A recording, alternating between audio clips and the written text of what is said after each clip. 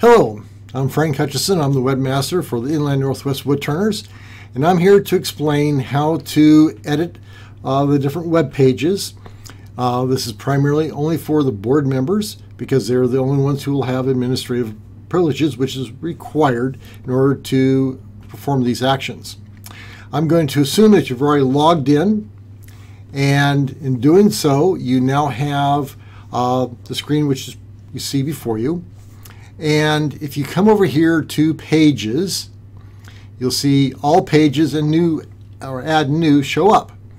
Now I'm going to assume that you're not going to add a new page, but you're just going to edit an existing page. So we come over here to all pages, click on all pages, and we have a list of all the pages. You have the contact us, the home, which is the front page, become a member, which is under home, on the menu. You have login, member resources, member directory, my account, view, profile, links, newsletters, about us, and those are the pages that we have on the website at present. Let's go to the home page. You just put your mouse on home and you'll see that a new menu pops up. Edit, quick edit, trash, and view. Please don't click on trash because it will do exactly what it says. Click on Edit. And what you'll have is the edit screen for the home page. Now, the way that the uh, website is constructed, we have a visual editor that we use. And it's done in blocks. And what you'll see here is you have a visual editor here at the top. It'll be the upper left-hand corner of the page and then a longer one, which is the center and right-hand side of the page. Below that, there are two more, which are about the same size as the ones above. You have a little one. This one right here is going to be the sidebar, which is where you have um, login as a member or member login, um, become a member, or subscribe for the newsletter. That's all right there. Probably you don't ever have to touch that, so don't worry about it. The one that you're most likely going to have to touch is this middle one right here, Visual Editor, because it's the one that has the announcements on the home page. Now down here in the last three, that's sort of down at the bottom. It's not the footer, but the one right above it, which is where we say who our sponsors are. And right now we have the Inland Northwest Woodturners are sponsored by, then we have Windsor and we have Woodcraft. And it's just their logos, which is why they don't show up here but I'll show you what those are in just a little bit. Let's now say that we're going to change the announcements. So we go over here to Edit, the visual editor of the box that we want, and we go to Edit. And it comes up, and there we see there's announcements, there's turning of the month, and then you can see what the turning of the month is. It's just a photograph. So for the announcements, we have here all the announcements, and this is a what you see is what you get word processor, which means that what you see here on the screen is what you'll see on the web page. So we can go in here and let's say that we're going to add um, a September meeting.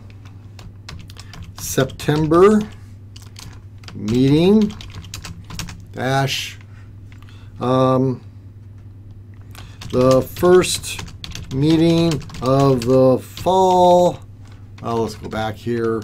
Fall um, will be interesting since I don't know what it's going to be yet. And then I can go back over here and say, oh, I want to capitalize the. Let's do that. And I want to bold September meeting. So I just go up here and click bold. If I wanted to be italics, I'd click on the italics. So you can do that, or you unclick it. Um, you can strike through if you want, which probably won't want to do. The, this is a bulleted list, which you probably won't have on, the, on this one right here. This is a numbered list. There's a block quote. This is a horizontal line, and then you have your alignment. You can put in a link, or you can remove a link, and you can see insert read more tag, uh, which give you a link, go to full screen, most of these you don't need to worry about because you won't use them. So there you are. That's what you have. And that's all that's required to edit anything in the announcements. Now, when you're done with this, you must do the following. You must go down here to the lower right hand corner where it says done. You have to click done. If you don't, you're going to lose all the changes. Now you're back. Here we are back in the screen. And just to show you um, some of the other things that you have here, let's go here to this visual editor block. And what you see is there's the Windsor logo because that's the only thing that's there. Now, if you want to add anything, we're going to click done on this. Let's go back here to the visual editor and let's zoom just for the moment. Go down here, turning of the month, and we're going to add a second one.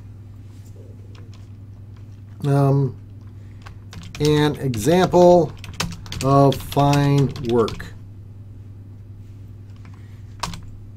Now, I want to add an image here. How do I do that? I go up here to where it says Add Media. Click on that, and all the images which have been loaded before will be presented to you. But we want to do one that we haven't done. So we click on Upload Files, and then it says Drop Files Anywhere to Upload or Select Files. We'll go to Select Files, and here we are, and we got some wonderful examples. Oh, this is a good one. We'll click on that. We either double click or click and then open. So there we have that. And it's already highlighted.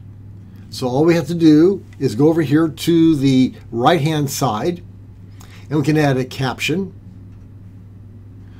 We can put an alt text, which is what shows up when you're running your mouse over the uh, picture. You can put in a description and you can even put in categories I'm not going to bother with any of those because we don't need to at the moment, but we can do it.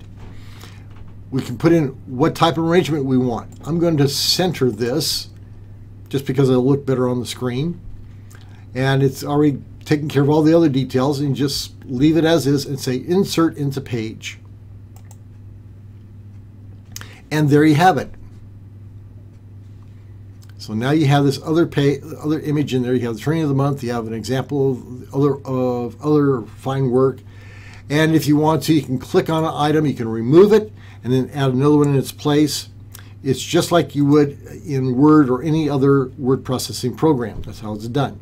Remember, in order to save this, you have to go down here to the lower right hand corner and click on Done.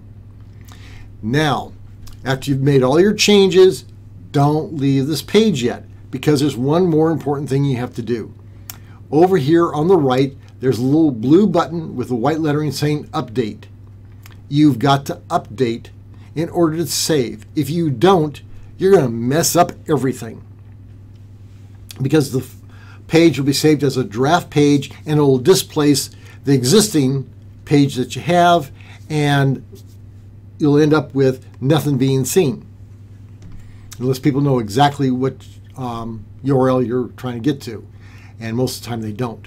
So you can update or, and that's always a good thing to do. It's always good to update as you're going along. So please do that.